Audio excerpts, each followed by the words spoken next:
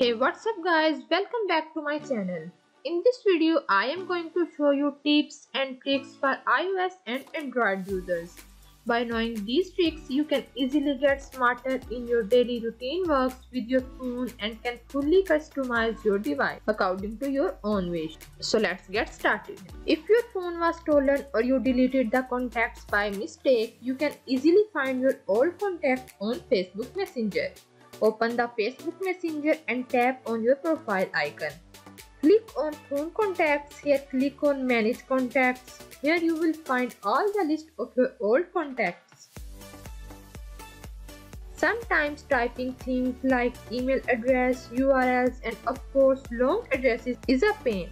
Your iPhone has a text replacement feature that lets you type just a few characters rather than spending forever typing the actual things. Go to settings, general, tap on keyboard, then text replacement. Tap on plus on the top right corner in the phrase field. Type the word or phrase you want to create a shortcut for. In the shortcut, type the text you want to replace by the phrase and that's it. If you are going to buy second-hand Android phone, you can test the phone before buying with a just simple code. Open a dial pad and dial star hash 0 star hash.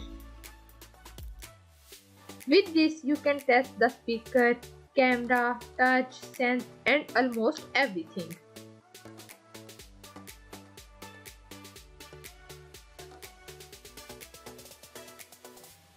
Want to remove the background of any photo without installing any app, all you have to do is open your browser and enter remove.bg.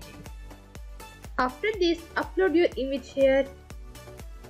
It will automatically remove your background within seconds. You can also download it on your phone gallery. If you want to record a phone call or WhatsApp call, all you need to do is install an app Call Recorder Cube. With this app, you can easily record your phone's calls, WhatsApp call, Skype call, imo call by pressing on the Mac icon. It's very simple and easy to use. If you want to make a free call all over the world without balance, all you need to do install an app Dingtone on your phone. Here you will get the 15 credits when you sign up for the first time. You can also get the daily free credits by watching the videos and daily check-in and you can use this credit to make a free call.